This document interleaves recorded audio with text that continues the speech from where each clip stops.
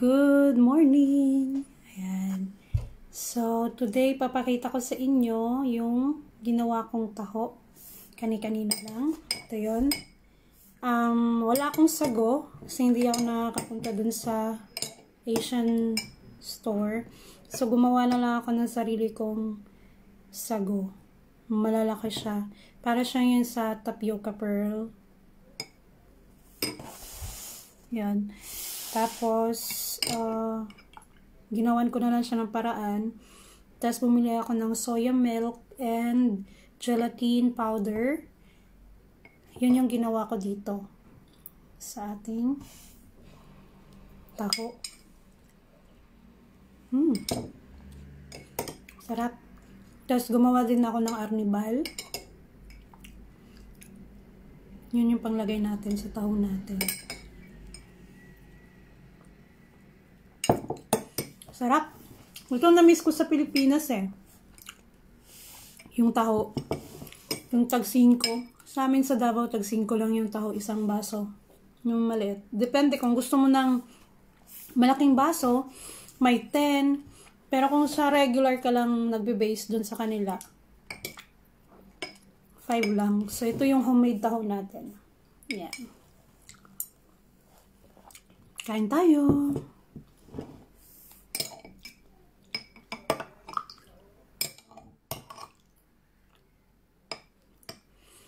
Kasama ko nasa kwarto.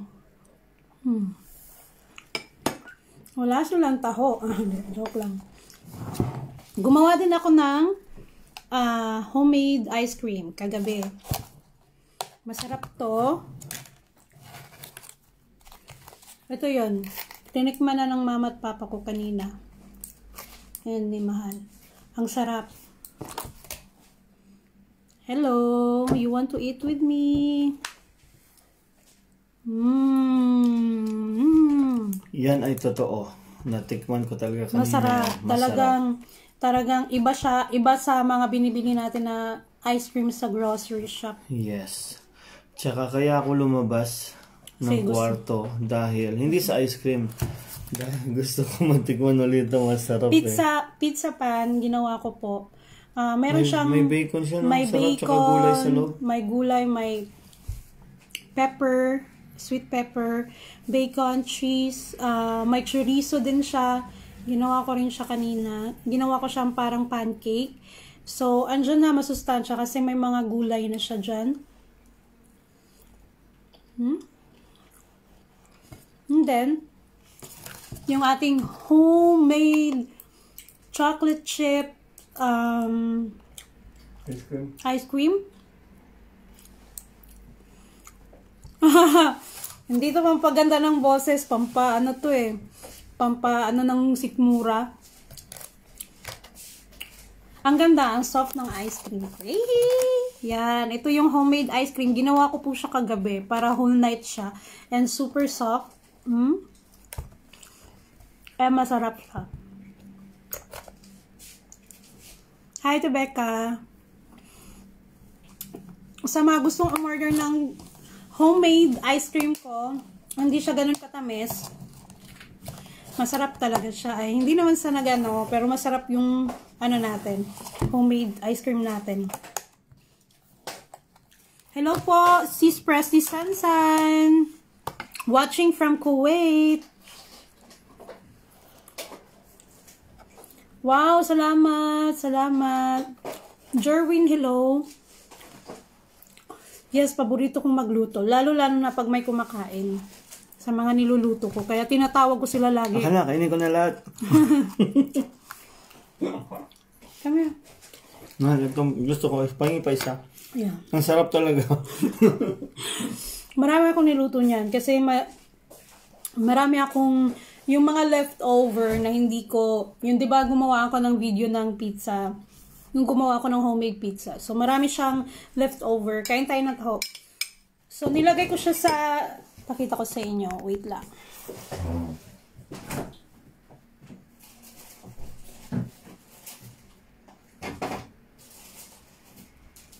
Nilagay ko siya sa ganito bag. So, meron siyang bell peppers. sweet bell pepper na yellow, green, and red. Tapos, mga leftover lang to ha. Tapos, meron din siyang uh, olive. Ayan. Meron din siyang chorizo. Meron siyang ham. And meron siyang cheese. So, yung ginawa ko, pinaghalo-halo ko siya lahat. Nilagyan ko ng harina, lagyan ko ng baking powder, asukal, asin, and then, uh, paminta na, oh, sorry, uh, pepper, yung powder, and then, pagkatapos niyan, uh, ihalo mo siya, lagyan mo siya konting gatas. Kung ayaw nyo naman ng gatas, pwede lang kayong kumamit ng tubig. Tapos, pampalasa, lagyan nyo yung konting magic sarap, yan, or MSG kung gusto nyo. Basta wag lang masyadong madami. Pampalasa lang. Yun ang masarap. And then, kaya siya nag naging ganito. Meron siyang mga, ano sa loob. Pancake pizza siya. So, yung texture niya pang pancake, pero meron siya sa loob mga bacon. Nun. And then, pagkagising ko, um, gumawa din ako ng taho. Eh, wala akong sago. Gumawa na lang din ako ng taho, tapioca pearl. Yung taho, ginawa ko na lang din siya homemade. Uh, yung cassava, lagyan mo ng ano, ng tubig, tsaka imamasa mo siya ng maayos habang nasa kalan siya. Uh, mga ano lang siya, mga 5 minutes, pero hindi masyadong malakas yung kalan nyo. Ayun. Tapos, ito yung ice cream.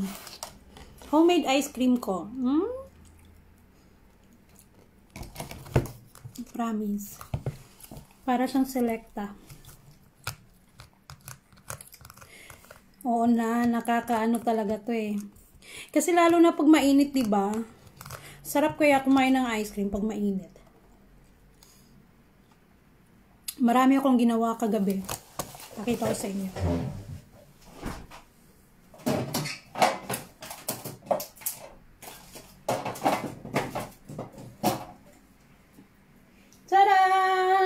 Tadang! Ang dami kong ice cream, no? Ginawa ko kagabi bago matulog. So, ayan, yung chocolate uh, ice cream ko, vanilla, And then, ito, may Oreo, chocolate chips. Ito naman iba. Yung pure chocolate talaga sa, ano niya, masarap to. Yan. So, yan, yan, lahat ang nagawa kong chocolate. O, ba diba? Sa gustong umorder, taga dito lang sa Sweden, message nyo ako. Murang-mura lang to. Kung gusto nyo magpagawa sa akin ng ganito, yung parang selecta, yung yung ano niya, selecta yung tamis niya, selecta yung lasa niya. Ayan. Nakuha ko na rin siya sa wakas. Sa ka-eksperimento ko dito sa kusina, nakita nyo. So, ito yung aking homemade ice cream. Ay! Sumigaw na yung freezer. Wait lang. Babalik ko na siya.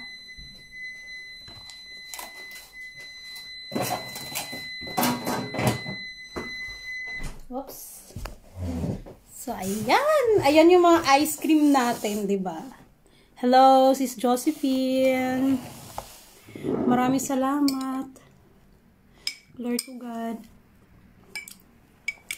Kain tayo ng homemade taho. Aha. Oo, kasi binubusog ko sila. Yung mga bata, lagi kong nilulutuan din ng gusto nilang ano, putahe. As long as kaya natin. Kung hindi naman natin kaya, mag-experiment tayo.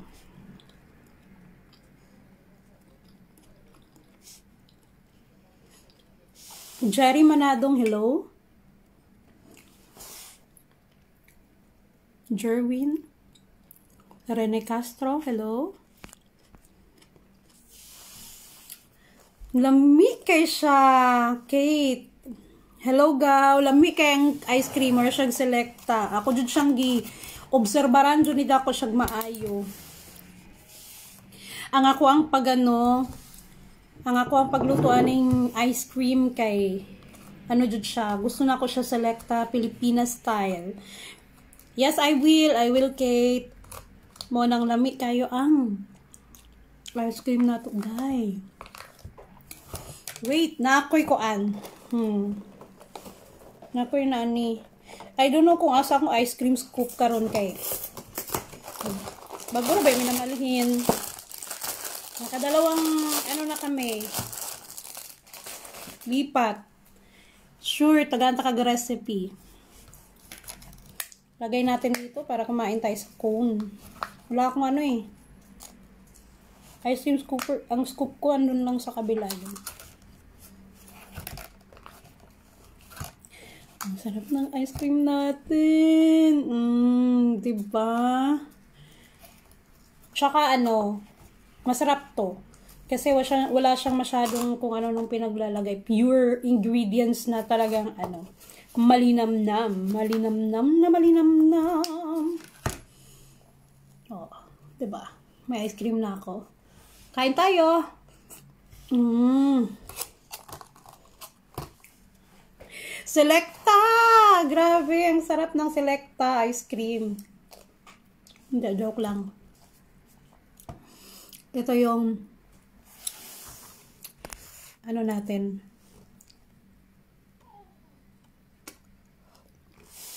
Homemade ice cream. Since an ang uh, ho, oh, Jonah, Jo, ah, oh, ang ngahon nuka, paano gumawa ng tao sisi? Lagay mo sa YouTube channel mo para mapanood ko. Thank you. Sure, sure. Gawan ko ng ano, pag may time ako. Kasi ngayon, ngayon, Wednesday, every Wednesday may driving ako, kaya driving lesson. So,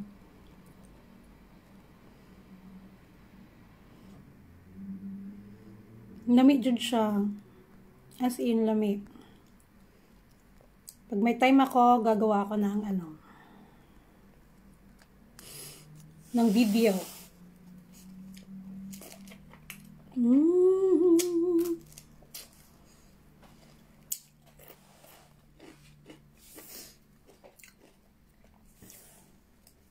Ako lang jud sige kaunan eh. Hindi po. Ako lang po gumawa ng Selecta ice cream ko, Alvina. Gumawa po ako kagabi. Kaya ito, may kinakain na ako kasi ginawa ko lang yung ice cream ko. Ala Selecta. Yan. Kasi favorite ko talaga sa ice cream doon sa Pilipinas is Selecta. Kaya naisipan ko, gumawa ako ng Ala Selecta ice cream. Kaya yan ang aking ice cream ngayon. Selecta really tastes like Selecta. Hindi talaga ako nagsisunod. As in. Selecta ice cream siya. And may taho. Mm. O, diba? Sino hindi tataba? Kailangan na talaga mag-walking-walking kaya naikot na namin yung mga forest dito kasi kailangan namin mag-walking dahil pag kumain ka ng kumain, kailangan mo rin mag-exercise. Mm. So, meron akong ganito. Sa lahat ng mga friends ko, gusto nyong matry ang aking Ala Selecta ice cream, homemade. Ayan. Murang-mura lang po para sa inyo. Ayan. Mura lang yan. Message nyo ako kung gusto nyong matikman. Order na kayo. Hmm.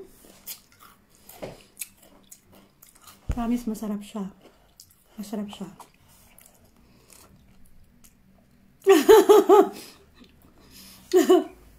Hello, Alvina from Singapore. Sensya ka na. Nagpapaano lang ako. Pinapakita ko lang yung ginagawa kong ice cream kagabi kasi sabi ko mag, mag-video ako.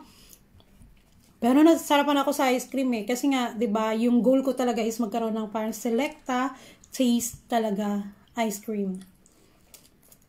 Hmm. Nung ginawa ko siya, kagabi, sabi ko, mahal gawan kita ng ice cream. Sabi niya, okay. Sabi niya lang gano'n. Hindi niya ako sineryoso eh. Bahala ka. Tapos nung pinatikim ko na kina mama kanina, sabi niya, ice cream talaga to. di ba? Hindi selecta talaga siya. Hmm. The softness and then yung tamis niya, na hindi masyadong matamis kasi medyo mayroon siyang pagka-salty a, a bit. This is it, pansit. This is my homemade ice cream. I-try nyo, mga kaibigan ko. Gagawa rin ako ng pandan, ube, kasi may ginawa na akong vanilla and chocolate chips. so, gagawa din ako ng ibang mga flavor. Gagawa din ako ng strawberry flavor, pandan, and then, anong tawag nito? Ube. Sorry. Mm. Natutuwa ako kasi bumibili kasi kami dito sa grocery shop namin dito sa baba ng ice cream. Pero sabi ko, bakit ganun yung lasa? Hindi. Masarap siya, pero hindi siya kasama yung excuse me. Katulad ng kinalakihan ko na ice cream yung Selecta. Na pag may pag may ano ba? birthday, may ice cream, ganun, may celebration. Kaya sabi ko, gawa nga ako, try ko. Kaya ito, masayang masaya ako dahil lasang-lasa talaga siya ng Selecta. Tsaka yung apple pie na ginawa kahapon, masarap din siya. As in, ubus na. Mm. Selecta. Selecta ice cream if you want to try my homemade homemade chocolate chip ice cream. Sa lahat ng mga friends ko dito, Helsingbo area or Malmo area, message nyo ako. Pwede kami mag-drive basta uh, pag-usapan lang natin yung delivery fee. Hmm? Masarap. As in, masarap. Naging, naging ano yung ano ko, successful yung recipe ko sa ice cream. Masarap, masaya, masaya. Masaya pag nakapag-discover ka ng sarili mong recipe. Kasi minsan, pag nakikita natin sa YouTube, marami kasi mga recipe na may offer. Pero maganda kung meron ka rin yung sayo. May iti-twist ka at may lalagay ka sa yung uh, na konting twist, mas masarap. Mm-hmm. Ayan ha. Chocolate ice cream. Homemade. Bili na kayo or mag-PM kayo sa akin. Pwede naman din sa Denmark kasi nakakapunta naman yung asawa ko sa Denmark. So, andun lang, andun lang yung Denmark eh, sa harap ko. yun, 20 minutes by boat lang siya. And then, kung merong o-order from Helsinger, ganon, dyan area up to Copenhagen, tingnan natin kung kakayanin. Kasi syempre magbabay pa kami ng mga bridge, yung ganon. So, pamasahe pa. And kung dadalhin nyo sa sakyan, hmm. Hi, Titalma. Ang sarap talaga ng ice cream. Kain tayo mga madam. Hmm. So, ayan yung ice cream na gawa natin kagabi. Masarap siya.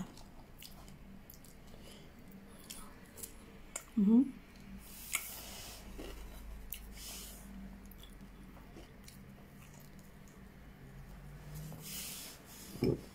Taho. Yun yung homemade taho natin. Mm.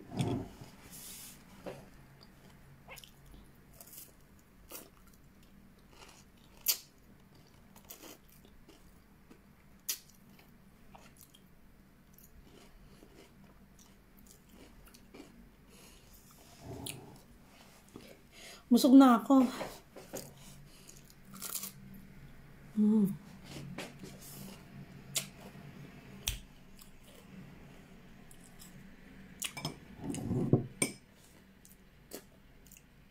Wala.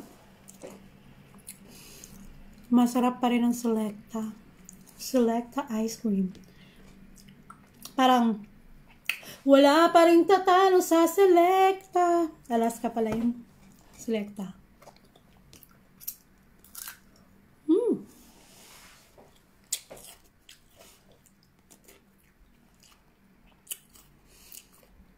Naubos ko na siya. So, yan. Ang ating homemade ice cream. Soon, gagawa ko ng strawberry ice cream. And then, pandan and ube ice cream together with vanilla and then chocolate chips ice cream. Gagawa po tayo niyan. Mm -hmm. Sarap.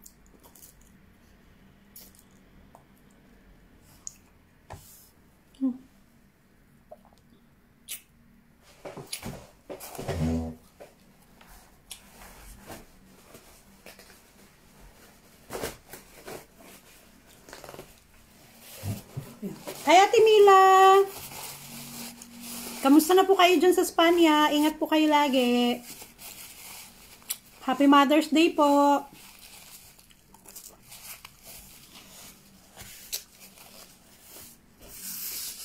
Kain po tayo ng aking homemade ice cream.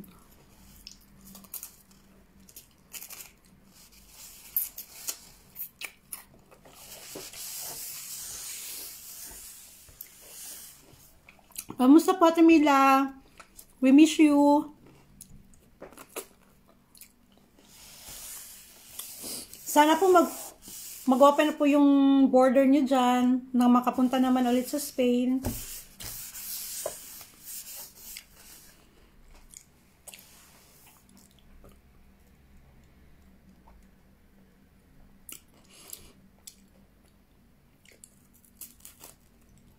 Hmm.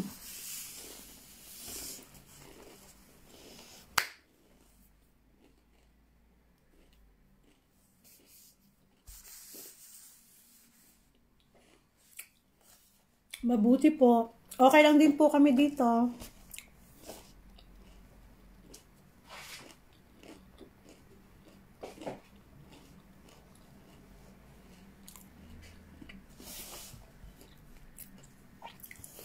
Kami dito sa Sweden, wala kaming lockout eh. Walang lockdown. Kaya lang problema, para pa rin kami naka-lockdown. Kasi, hindi kami nakakatawid dun sa Denmark.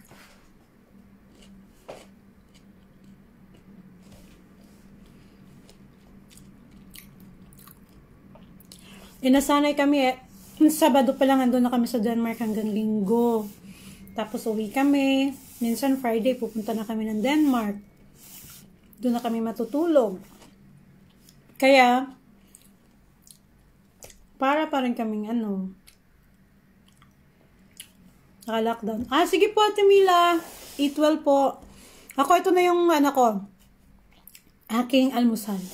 Homemade ko po na ice cream, and then taho, and then pizza pancake na meron po siyang bacon, uh, and then to see, uh, no, chorizo galing sa Spain, nilagay ko dyan, pepper, cheese, ayan yung, ano ko, agahan ko. Ingat! Bye-bye po! Maraming salamat sa panonood and um, kakain na muna ako. Kanina pa ako kumakain pero kakain pa ako. Ayan. So, sa lahat ng gustong mag-order ng ice cream, homemade ice cream, chocolate chip, and tsaka vanilla, message nyo ako. We deliver around Skona. Skona. Yan. So, pag-usapan natin yung delivery fee. Thank you! And keep safe everyone! God bless you! Bye-bye!